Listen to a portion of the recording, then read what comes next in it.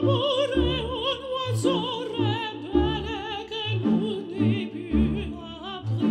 pasta itself is always, um, no matter how dialed in you have a recipe, it's always going to be unique each time that you make it.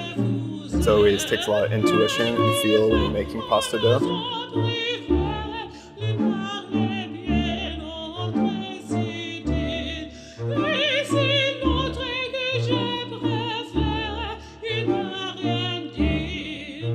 The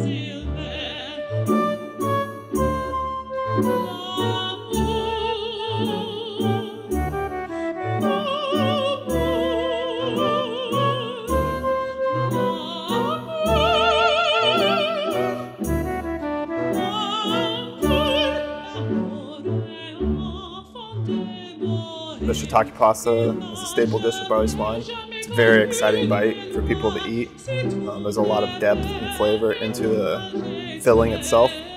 It's a gelatin set filling with fermented shiitakes, raw shiitakes, a lot of aromatics, ginger and garlic, shallot.